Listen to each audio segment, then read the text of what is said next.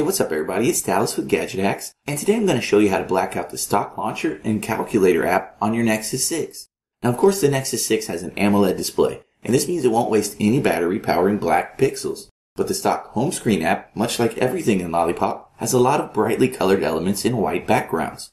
These visual assets are definitely not as battery friendly as a black background would be, and knowing that, developer Jermaine151 created a mod that'll black them all out. This is a flashable zip, so you'll need to have a custom recovery installed to apply it to your Nexus 6. But if you need any help with that, just head to the full tutorial at the link in the description below. That's where you'll also find a download link for Jermaine's mod, so go ahead and grab your copy, then the next step is to boot into custom recovery.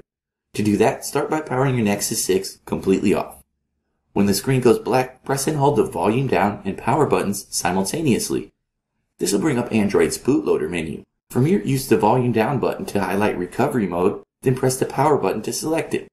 Now before we go any further, I want to be very clear on a couple of things. First, this zip was made specifically for the Nexus 6, so it's not intended for use on any other device. But second, and equally important, is the fact that there is no revert zip available for this mod. That means that you should definitely make a full Nandroid backup before flashing this, because it's the easiest way to undo this whole thing if you end up deciding to go back to stock. So from TWRP's main menu, tap Backup, then make sure System, Data, and Boot are selected, then swipe the slider at the bottom of the screen. When that process is finished, you'll have a full Nandroid backup. So if you want to revert back to the white backgrounds of the stock launcher, just boot back into recovery, tap the restore button, and select the backup you just created. With that out of the way though, go ahead and tap the install button to apply the mod. From here, navigate to your device's download folder, then select the blackout.zip file. After that, just swipe the slider at the bottom of the screen to install the mod. Then when that's finished, tap Reboot System. When you get back up, you'll see the changes right away. The Google search bar at the top of your home screen now has a black background, as does the Google Now page in all of your cards. Even the app drawer is blacked out, so a lot less white pixels there.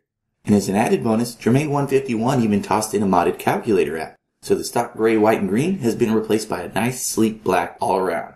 And with all those black pixels, your Nexus 6 should see a little bump in battery life. And at the very least, this theme looks pretty awesome. But for the full breakdown, be sure to check out my article at the link in the description below. And as always, we'd appreciate it if you would like and comment on this video and subscribe to our channel. So we'll see you again next time, folks. But until then, happy gadget hacking.